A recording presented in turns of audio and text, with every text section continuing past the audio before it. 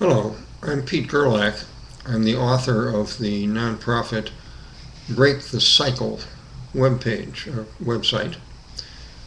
Uh, I want to introduce you here briefly to the fourth of eight lessons that comprise my website. They're online, they're non-commercial, no commercials at all. Um, they're meant to show you things that no one ever taught you before. These lessons are based on 31 years of my experience as a family therapist.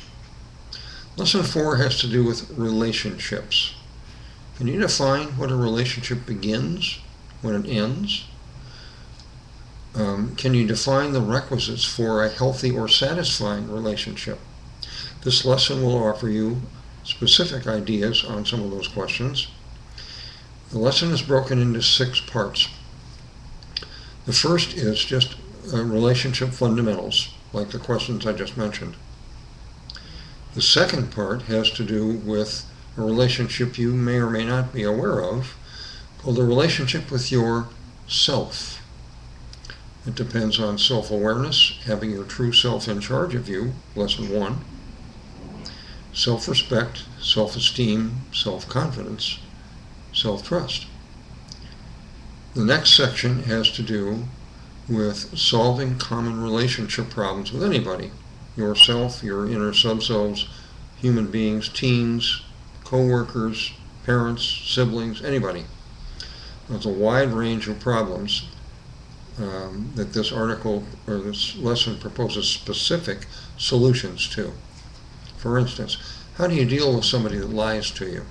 How do you deal with somebody that's chronically angry? How do you deal with somebody that's depressed? You'll find answers in this lesson. You'll find proposed answers. The next section of this uh, lesson has to do with the complex, controversial, highly important area of primary relationships. There's a whole group of articles on marriage, divorce, and relating with ex-mates where that's necessary or useful, especially if you have kids. Um, the next section has to do with relating to a higher power. Some people find that useful, essential, other people are indifferent, other people don't know much about it. So this is a wide scope lesson that touches on many aspects of the common concern we all have for satisfying healthy relationships. This lesson builds on the previous three lessons, so study them first.